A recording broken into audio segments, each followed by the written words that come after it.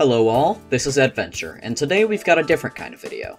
For those of you who are out of the loop, in the time I took a hiatus away from the channel, I spent that time playing Guilty Gear Strive competitively. And not to brag, but I think I did and am doing pretty well.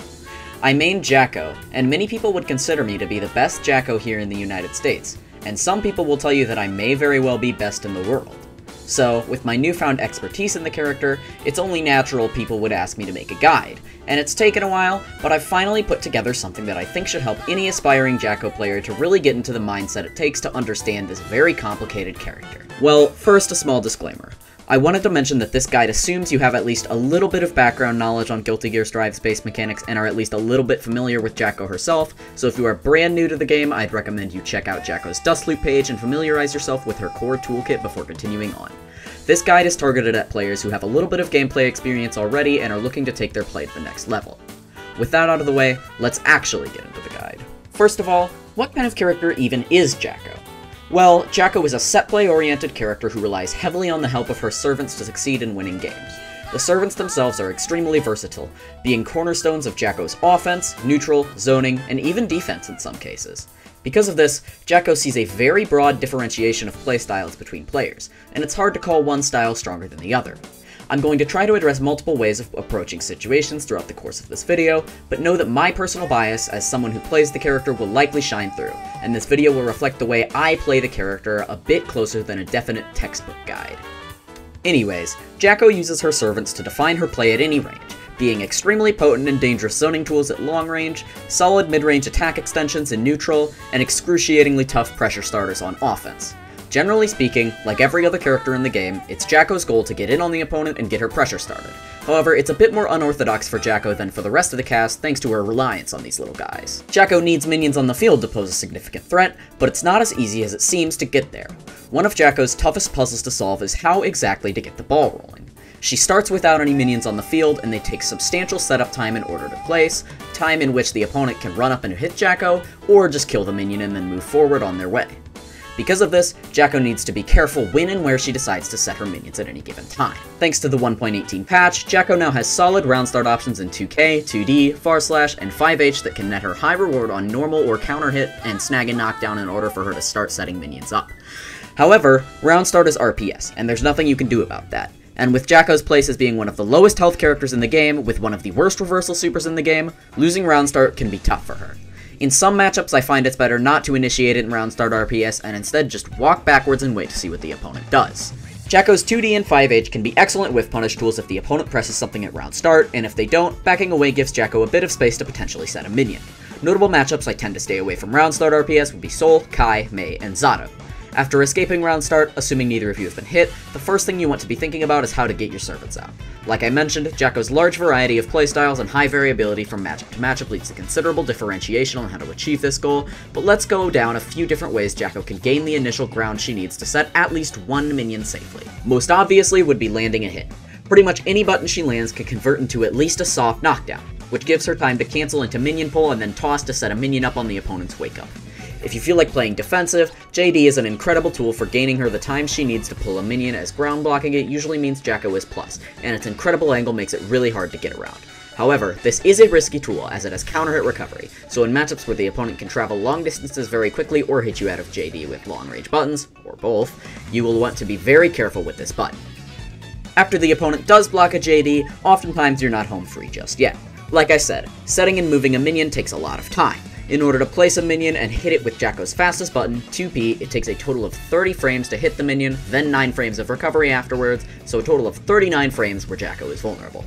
Because of this, it's important to gauge the situation and adapt as necessary to your opponent's options as best you can. Jack-O can use these plus frames to force the opponent to block a normal, catch a backdash, or throw the opponent, which will be explained in a minute. Oftentimes you'll want to pull a minion and hold onto it for the faster recovery, and then reposition as necessary. Jack-O's safest space to set minions is in the air, as she can jump cancel after hitting one, heavily reducing the recovery of whatever move she used to get it into motion. Jump, Minion Drop, JS is an extremely safe and versatile tool to getting a minion on screen thanks to its incredible angle, difficulty to punish, and the freedom it leaves Jack-O after the fact. She can double jump, air dash, and even air stall by using 214k to bait out the opponent's anti-air. Of course, you can't be too predictable with your options here, and your opponent can snag you out of the air if they're quick, but it usually has to be on prediction, not reaction. Another option is to run away and let go of the minion once you think it's safe. You can also quickly set the minion at any of these points and use shield command to parry the opponent's attack. The intention here is to get a minion out on the field safely, not necessarily hit the opponent, so you don't have to take huge risks to try to get a knockdown, but be aware that blocking any button makes Jack-O's minions disappear from the screen, so try to avoid that if possible. Generally, your safest option in this scenario will be to force the opponent to block an attack, as this gives you another window to do the same thing, but with a bit more wiggle room when it comes to frame advantage. So, you made the opponent block a stray button in neutral. Now what? Thanks to Jack-O's fast and long-reaching kick normal, she can usually get herself into a situation where the opponent has to block out a Gatling, be it from far slash to 5H or 2K to 2D. In this situation, you have a few key things to be thinking about. 1. Stagger pressure. Jack-O can threaten resets during her block strings with a snappy minion set or pull into running away, so the opponent can often be tempted to mash on her Gatling strings. It's oftentimes worth it to delay your next Gatling in the chain by a bit to scare the opponent away from pressing, which in turn allows you an opening to set a minion on their block, which in turn makes them want to mash more on your Gatlings, so on and so forth. Jack-O can do this off any button thanks to her 236k, a kicking attack that always frame traps the opponent if timed correctly. Most commonly, the opponent will find themselves guessing between either a 2 through 6k to frame trap their mash attack, or you setting a minion and continuing your pressure now with the added threat of said minion. Of the two, 2 through 6k is the safer option, because even after it's blocked correctly, the opponent still has to respect one more setup attempt. If you cancel into a minion pull and hold it, Jack-O can run away after a 2 through 6k, which actually leaves her with a little bit of plus frames to boot. One problem. While Jack-O is holding said Servant, she cannot block or attack, and it takes 12 frames, all counter hit state, to set the minion back down. Because of this, after a 236k is blocked, Jack-O enforces probably the silliest looking RPS situation in the entire game. Booking it, jumping, or booking it a little bit and then jumping.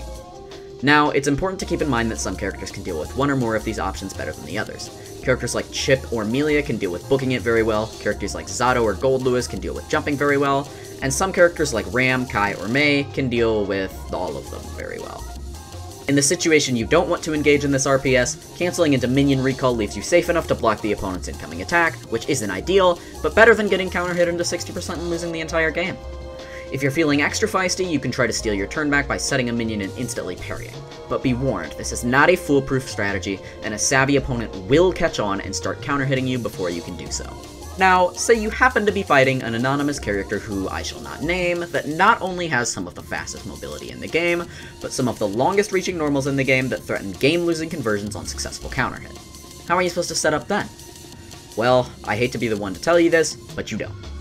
Jack-O's problem matchups usually have to do with the inability to set up minions safely, and if you can't set minions safely, that means you'll have to learn to play without them to some extent. Luckily, Jack-O isn't all that terrible in neutral without the help of her little friends. Jack-O's 5k, 2k, and far slash all service extremely potent low-risk neutral pokes that convert into knockdowns for her to get the ball rolling. Depending on the matchup, you'll want to switch up which of these buttons you'll be using, but usually 5 and 2k are safer and better buttons than far slash. 5H and 2D are incredibly strong with punish tools, as well as buttons used for catching backdashes, but you don't want to be caught dead whiffing these buttons. 2D's low profile can be used to some extent in certain matchups, but once again, be wary of its extremely high whiff recovery on top of the fact that its low profile is kind of janky in regards to what moves it does and doesn't low profile. 5H is the real kicker of a button. It goes farther faster, has less whiff recovery, and even has a tiny disjoint, meaning if it's spaced perfectly, it can clash with 6Ps, which you can then use to knock the opponent down with a clash cancel into 2D or similar button. Again, both of these buttons are easily whiff punishable, so it's important not to press them in situations where you are unsure if they will end up hitting or not. Smart use of 5H in conjunction with Jack-O's other pokes gives her a threatening neutral, but use of it alone makes her easy to space out and counterpoke effectively. Another approach you can take is waiting for whiff punish opportunities and instead setting a minion. Even if you react late, it's going to be near impossible for the opponent to punish you for doing so, and if they do press, you can quickly parry to put them in a threatening situation where you can either take the time to set up more, or run up to begin offense with your minion. Now that we've talked about how to get the screen set up, let's talk about what to do when the screen is set up. A very common question I have asked on stream, twitch.tv slash eddventure with a 3, is as follows. When I get minions out, I don't know how to use them, and the opponent ends up just getting in, or killing them before I get a chance to start my offense. This is a fairly common problem among Jack-O players, and while I can't tell you exactly what part of your game plan you need to improve to make minion neutral scarier, I can give you insight into what I'm thinking about when minions are in play. The first and most important thing I'd tell you is that it is imperative to keep track of your minions and how they help you. Know where your minions are all of the time, and know what parts of the screen they can test. If you know where the enemy is in range of a minion attack, you can work on setting up the rest of the screen so that nowhere is safe, and you can cover the holes in your setups with Jack-O's own presence, forcing the opponent to either go directly at a minion or directly at you. You might think playing passive like this could end up being countered by an opponent slowly approaching by killing all the minions, but you would be wrong. Thanks to the extended hit stop that comes from hitting a minion, Jack-O can punish opponents trying to get in this way by running in and hitting a button as well. Of course, like with any game plan, if it starts to become too predictable or autopilot, the opponent will find holes, so you also have to make sure you sprinkle in a little bit of active pressure as well. I'm talking setting more minions up, setting up JD, moving the minions with buttons, etc. Anything to keep your opponent on their toes and make them hesitate on their approach angle is enough to let Jack-O's neutral wall setup really shine. If you're playing a matchup against a slower character who has to respect your minions being set up in neutral, a common roadblock you can run into is how to deal with a character that is good at killing the minions safely. Characters like Sol, Goldlewis, Axel, or Anji may not have the greatest options to get past minions, but they do have solid options to kill them as you send them. In this scenario, there are a few things you'll want to do. First and easiest is to try to parry their buttons. If you chuck a minion directly at them and parry right before they press their button, the minion can parry their attempted kill, netting you some time to chuck another minion over there and run up for some pressure. It's important to try to be early rather than late on this, as if the enemy ends up whiffing on the parry, they still have to deal with the minion you already have out, instead of having it killed and you just whiffing the command. In fact, against some characters whose buttons can't be reasonably parried from a distance, it's good to stop your minion's trajectory by whiffing a parry in order to force the opponent to have to deal with the minion in some other way. If the opponent blocks your minion from a distance, they have to participate in a little bit of RPS. After a minion is blocked, you can command it to do attack command, of course, but the reason you'll want to do this is so that you have the plus frames that you can use to approach on the opponent. However, the plus frames you get aren't enough to gain any significant space without the opponent being able to kill the minion in between your running, so you need to be able to frame trap the opponent to stop them from doing so. How do you do this? Another attack command. If you input an attack command after the opponent blocks an attack command, it will frame trap them and hit them out of whatever option they use to escape. However, if you frame trap every time, you won't gain enough space to make it in on an opponent, so you need to rotate from frame trapping to running in, forcing the opponent to guess if they are going to need to mash or jump away, or block it out in order to stop you from making it in. Against a mashy opponent, you can also use parry to really dissuade them from mashing as it restores your meter on successful connect and gives you the time to run in without using any more of your bar, but it lets the opponent escape if they do anything but mash, so it's a higher risk, higher reward option in these long range minion pressure scenarios. Once you get into a certain range from your opponent, you can use the extended active frames from hitting a minion against them by whiff punishing them with your 2D or 5H, which leaves their only real escape option as jump or backdash, both of which can be covered if you take a little extra time to set up a minion, or go directly punish them with an air-to-air -air or backdash punish. A lot of figuring out how to make it in this scenario is to figure out your opponent's tendencies, such as do they like to mash after the first clap or the second, or do they try to fuzzy jump out in between claps, etc. So now we begin the offense portion of the guide, and oh boy is this a doozy. Jack-O's pressure routing varies wildly depending on screen positioning, number of minions on the field, how much time they have left on the field, how much minion gauge you have, how much tension you have, eh, you get the idea. As we all know, we're playing Guilty Gear Strive, and in Guilty Gear Strive, almost every character pressures to some degree with delayed Gatlings and what is known as stagger pressure, which I explained earlier in the video. The gist of it is you delay your Gatling options to catch opponents trying to mash out of them, and then once they respect the delays, restart your Gatling strings from the top or go for a throw or unique mix-up option. For Jack-O, this is no different, but with the use of minions she can expand the stagger pressure to be a lot more scary. For one, instead of just resetting her string, Jack-O can instead quickly set a minion, then press a fast button, which puts far more pressure on the opponent now that you have a minion out. And once you do have a minion out, her pressure is greatly enhanced due to the fact that minions give her access to a great evil plus frames. Pressuring with a minion gives her access to a number of different ways to gain lots of plus frames, which can all be used to reset her block string, enforce a strike throw mix-up, start stagger pressure over again, and increase corner carry, all in one. The main ways to gain plus frames with minions are to use 214k or to hit the opponent and the opponent's guard with one attack, but there is a third more complicated option we'll get into later. The simplest is 214k, Basically, when you use 214k, you trade a bit of your gray meter to leave yourself at plus 15. This is extremely powerful, but of course requires the meter to use it and the minion to be close enough to hit the opponent with the attack. The second is hitting the minion. You see, when you hit a minion and the opponent, the minion resets the block stun from your button and changes the frame data of said button. It varies wildly from button to button how effective this is, so here's a chart to show you how much plus frames each button gives you.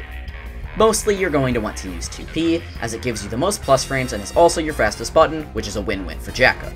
Additionally, the minions can allow for enhanced combo routes in these situations, so be on the lookout for unique hit confirms when pressuring like this. The upside is of course plus frames, but also hitting the minion doesn't use any of Jack-O's minion gauge, which is important since using any of her gauge puts a temporary timer stopping it from regenerating for about a second after using the command. However, hitting the minion reduces the amount of time it will stay on the field a lot more than using attack command, so it's important to keep in mind whether you want more meter or more minion uptime when planning your block strings. It's also worth bringing up that the second option of hitting a minion and the opponent's guard can interact in unique and interesting ways depending on when and where this interaction takes place. If the minion is spaced far from the opponent but you hit both of them anyways, you can end up generating more plus frames than you would otherwise. This lets you set up things like a plus on block 5D, which I will talk about later, but this pressure string involving 5H is also a lesser known very practical usage of this interaction. If you hit a minion with the back hit of your 5H while the enemy blocks it as well, you can cancel into a minion pull and then set a fresh minion, then continue your string while being plus as well. This enhances corner carry, the amount of time you can continue a block string, and has significant openings for you to try to sneak in a mix-up as well. Now, I mentioned there was a third option for generating plus frames that was a bit more niche, and that option is exclusive to Jack-O's sandwich pressure. As you probably already know, sandwich pressure is the most ideal pressure scenario for Jack-O for a number of reasons, including better converts off of successful hit, extended duration of the pressure due to the minion pushing the opponent back towards Jack-O instead of away from her, and scarier strike throw, since Jack-O will be closer to the opponent after the plus frames. But there's actually another reason that makes sandwich pressure significantly scarier than regular minion pressure, and that is the effects of hitting a minion in the opponent's guard, but having the minion not connect with their guard. If the minion whiffs, the block stun is never reset, but Jack-O gets some extra plus frames anyways, which takes some normals from minus to extremely plus, and also deals significantly less pushback to the opponent, letting Jack-O enforce a very scary strike throw off of this circumstance. Most threatening would have to be after a close slash, as after this is blocked, Jack-O is left at plus 10, and she's already in range for a throw, meaning she doesn't have to run forward at all to take throw the opponent here. This is the added benefit of pushing the minion back farther away so that Jack-O can carry the opponent further without the minion crossing sides and ending the sandwich pressure. If you're looking to open the opponent up during these pressure strings, it's important to keep in mind the risk-reward of Jack-O's mix-up options and how each one changes depending on the minions she has on field. Throw always stays consistent. You're risking whiffing throw and eating a big counter hit in exchange for some damage and a hard knockdown. Jack-O's post-throw state is quite strong, however, as she gets access to unique mix-ups and sandwich pressure off of it, but we'll go further into Jack-O's Vortex options later on. Outside of Throw and Jack-O's unique setups for Vortex, all she has left is 5D, which can get kind of interesting. You see, 5D is punishable on block, just like for every other character. However, all of this changes if there's a minion in play. Jack-O's Tap Dust will almost always be safe on block if she has a minion to cover her, and will usually net a soft knockdown on hit in the same situation. 5D will be 0 on block if the minion whiffs behind the opponent during sandwich pressure, and at very specific spacings when the minion is in front of the opponent, it can even be plus on block. This requires a very good eye to space and some specific setups, but it's near guaranteed to catch your opponent off guard. Even better is the fact that on hit, this specific spacing allows for 5D to be comboed after on hit, which gives Jack-O more wiggle room to set up after the combo, and of course extra damage from the mix-up as well. While this can be set up mid-screen, it's easiest to do this in the corner. My most practical plus on block 5D setup is after a corner safe jump, where you simply do 2k 2D clap, 2k 5D. The 5D will be spaced to be plus naturally after this setup. This leads me into our next topic, being Okizeme and advanced mix-up options. You see, after knockdowns, Jack-O gets some extra time to set up her minions, and a lot of the time, this extra time lets her reasonably set up new mix-up routes or stronger screen positioning that she won't be able to have without said knockdown. The easiest and most simple benefit Jack-O can get from a knockdown is guaranteed sandwich pressure. Simply throw the minion behind the opponent while they're getting up, and bam, you have them in sandwich pressure. While in many cases, such as off of juggled scaled close slash 2H or a minion clap ender, this is your optimal set play, on a bigger knockdown, Jack-O can gain benefit of sandwich pressure as well as a unique mix-up option dependent on said knockdown. After a throw, Jack-O can enforce an unreactable left-right mix-up by setting up a minion then air dashing over, and either using minion clap to hit left side or JH to hit right. This nets Jack-O a combo on hit and lets her set up pressure afterwards as well, and even if it is blocked, Jack-O is now in sandwich pressure, so going for this mix-up is a win-win. The only weakness to the setup is that it forces a cross-up, which you might not want to do if the opponent is near the corner. As for invincible reversals, it can cross up the input and make them not come out for Sol and Ky, and if Leo tries to flash kick on this setup, the same side mix-up is 100% safe to his DP, but the JH is not, so keep that in mind when fighting him. After a sweep that hits close, Jack-O gets access to a 4-way mix-up that's even scarier than the throw one. Just pull a minion, jump forward, and drop the minion at the apex of your jump, and the mix-up is now in play. you now have four options to mix the opponent up. 1. You can backwards air dash over their head and hit JS for an overhead on the left. 2. You can backwards air dash against their push box and press JS for an overhead on the right. 3. You can just drop down and press 2K2D for a low on the right. And 4. You can just drop down and throw for, well, a throw.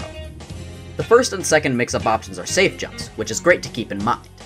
Of course, after a hit, Jack-O can go into a combo and set up again, but after a close slash 2H near the corner or with low juggle scaling, she can route into another mix-up option, this one being a fuzzy overhead or F Shiki. Simply run a short distance, throw the minion, time a JS so that it hits the opponent close to the ground, then cancel it into a double jump P, then cancel that into a minion clap. While it looks like the opponent is standing up, the game is still forcing block stun and thus keeps them standing even if the opponent has returned to down backing, letting you hit them with a JP rising overhead on their standing hurt box even if they decide to try to crouch. This mix-up is easily Jack-O's hardest to execute, and requires solid knowledge of when you can set it up, and the execution prowess to actually land it. Of course, the instant overhead is very scary, but make sure you complement it with the low so it doesn't become too predictable. In the corner, Jack-O's Okizeme is usually the easiest. She has two main things she can do, a corner safe jump slash 50-50, and a raw setup for two minions. The safe jump simply involves Jack-O pulling a minion, jumping forward, throwing it, and falling back down.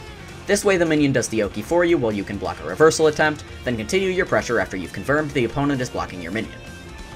If your opponent doesn't have a reversal, this can still be worth going for since you can backwards air dash JS near the end of your jump arc for a delayed overhead, or just fall all the way down in 2k2d for a low. The weakness of this mix-up option is that oftentimes it will force a wall break, so if you want to keep your corner pressure, instead set a minion, hit it with close slash and timing with your opponent's wake-up animation beginning, then pull and set another minion. This can be reversal safe against slower reversals, but faster ones can clip you out of it, so be careful. The strength of this setup is that it instantly lets Jack-O start corner pressure with two minions, and allows her to convert into her scariest block strings and offensive options without risking a wall break or having the minions time out. Speaking of Jack-O's scariest pressure, what is it that makes her corner pressure so scary? The main thing is that it lets her continually loop minion setups while building meter, and then lets her cash out into cheer H pressure, which is an infinite block string with tons of chip and lots of risk build. The main pressure string Jack-O uses to build meter in the corner is eloquently named PP, after the inventor of the tech, not Pichu. The string is executed as follows. 2 through 6k a minion and the opponent's guard, then pull another minion, 2 through 6k the first minion again, throw the minion in your hands, run up close slash, 2h, kick the new minion, and start from the beginning with the new minion. Here it is in motion. As you can see, this builds a lot of meter very quickly and goes on seemingly forever, of course, this is not without its flaws. There's a significantly large gap both between the two 236Ks and the throw-in running up close slash 2H, but the idea of the pressure isn't that it's an uncontestable block string, it's that mashing here is very undesirable for the opponent. On any of these gaps, Jack-O can frame trap the opponent and still remain plus, while also keeping the minions alive to restart the pressure should she get the meter to start it again. After the first 236k, you can simply attack command to hit anyone mashing, and after throwing the minion, you can 2k2d or forego the throw and attack command to stop an attempted mash there as well. Both of these keep Jack-O's offense going and dish out large punishment for anyone who tried to escape, meaning there really is no trick to escaping this offense, which is what makes it so strong. It's also worth noting that at any point during this string, or during the frame traps, Jack-O can just stop and enforce a plus on block 5D, throw, or instant overhead depending on the meter she has remaining, which all helps add to make this an extremely threatening block string in the corner. The final and most important part of Jack-O's corner pressure is cheer pressure. After gaining 50 bar, Jack-O can start a genuinely uncontestable true block string that either steals a lot of the opponent's meter, or chips away at their life bar and builds risk. To do this, you first need to be able to activate it. To go into Cheer H, you want to cancel on the first possible frame of contact with either her 2 through 6k or 2H. 2 through 6k is harder to see coming since she uses it in her main block string, while 2H is easier to make gapless.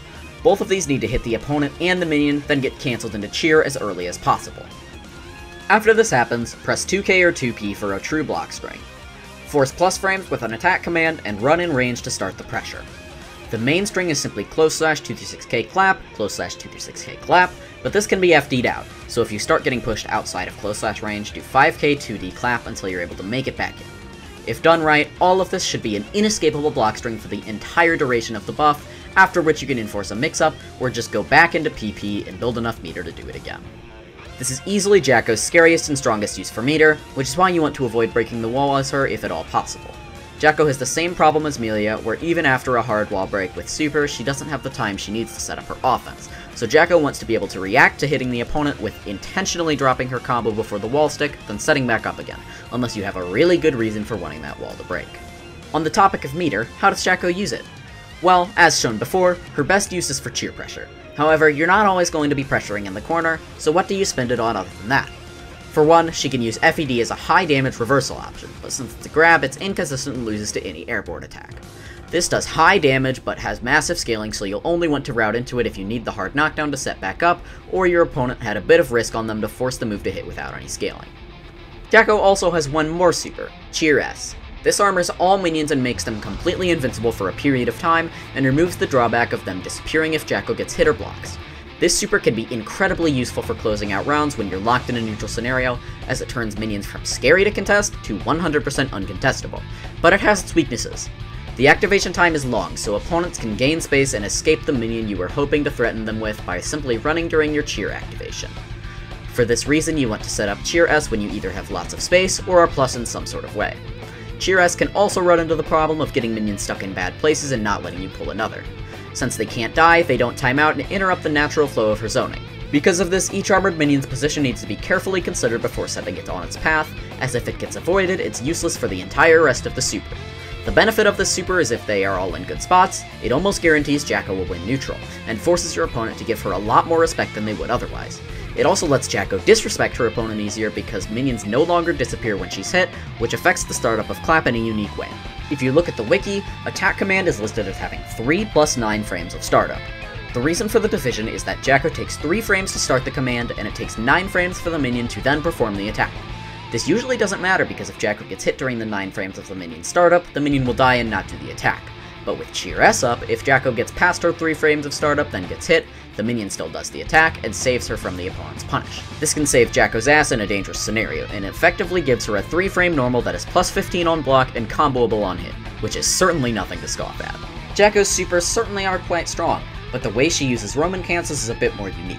Jack-O can use Red RC to guarantee a minion setup after a high block stun normal is blocked, but be careful in the corner because you can be thrown out of it if you're close enough. It's also worth noting that when Roman canceling to set a minion on block, you should always use Fast RC, as it uses less meter and gives the opponents less time to react with a throw. On hit, Jack-O's red RC extensions are pretty poor, all things considered. She doesn't get much damage off her RC combos, so mostly use this if you really need the extra damage to close out a round, you want the corner carry, or if Roman canceling will let you build enough bar to set a minion after the combo when otherwise you couldn't have. Jack-O has strong momentum shifting normals, and she can use PRC in neutral to effectively double the range of these moves, which lets her pose more of a threat than she would otherwise. You can go for a risky 2D in neutral, and if it whiffs or gets backdashed, you can PRC fast cancel into another 2D to hit the opponent out of said backdash or button they press to whiff punish you. As for BRC, Jack-O has a couple neat combos that use it, but nothing super special. Jack-O uses YRC the same as anybody else, to interrupt block strings, but her post-YRC state is fairly scary for both her and the opponent, as it puts her into her stagger pressure, but also doing said stagger pressure can risk a big counter hit if you try to get set up. So we've talked about how Jack-O can use meter, but how can Jack-O respond to meter use from the opponent? Jack-O's pressure can be frame tight and build lots of risk, so she encourages the use of defensive options against her. One of her bigger weaknesses is she has no naturally YRC safe routes, and her burst safe routes are practically non-existent. On top of that, getting bursted or YRC'd, even on block, removes all minions from the field, so even if Jack-O blocks a gold burst, she is spaced too far out to get a punish, the blocked burst ends up leaving the opponent in a stronger state than they would have been otherwise. Now, this might sound like an ass-backwards way of thinking about things, but my philosophy for dealing with meter is such that because Jack-O is so weak to meter defensive options, you shouldn't try to bait them. As I said, Jack-O loses her minions regardless of if the opponent's defensive option is blocked or not, so sometimes successfully baiting a defensive option can leave Jack-O in a disadvantageous position anyways, and getting hit by a defensive option isn't too much different. This may be different if Jack-O had solid routes to bait YRC and burst while keeping her pressure going, but she pretty much has to hard bait every single defensive option by stopping her pressure, so effectively you are risking the opponent mashing out and escaping your pressure while keeping the meter for stronger offensive uses, and your ward is a low damage minionless punish or some minionless stagger pressure. Because of this, I think it's best to just play as you always do, and then when you do get YRC or bursted on, take solace in knowing that that's 50 meter down for the opponent, or their burst gone, and try to block out whatever it is they're doing before they get the meter back again. When it comes to invincible damaging reversals such as DPs or reversal supers, things get a bit more interesting. While Jack-O doesn't have the tools to bait defensive options like YRC or Burst, she does have the tools to bait DPs. Jack-O can utilize very basic DP safe Oki simply by throwing a minion to the opponent and having it perform the meaty while she stands out of range for the DP, but Jack-O also has a few safe jumps she can utilize as well. We've already talked about the corner safe jumps, but at mid-screen, Jack-O can usually end a combo in the first hit of 6H, pull a minion, dash jump, throw minion JS for a safe jump that allows her to block the opponent's reversal and set up sandwich pressure. After a mid-screen Forever Elysion driver, Jack-O can safe jump by pulling a minion, jumping, then doing a slightly delayed air dash, letting go of the minion and falling with JP. If you can't access a safe jump, simply let the minion do Oki for you and distance yourself away from the opponent's DP. This works more on some reversals than others, but it's the best option you have outside of a safe jump, and Jack-O doesn't have too many great safe jump setups in the first place. During pressure, you may need to limit your Gatling options and make it more frame tight, but if the opponent gets happy with DPs in your gaps, it's the perfect time to start utilizing your plus frames to go for throws since DPs aren't throw invul. Metered reversals have to be respected, which puts a damper on Jack-O's offense, but if you start a true block string and keep it going, the opponent will likely feel the inclination to YRC, which as I said before is really a net positive for you since you no longer have to deal with the threat of their reversal while you pressure them.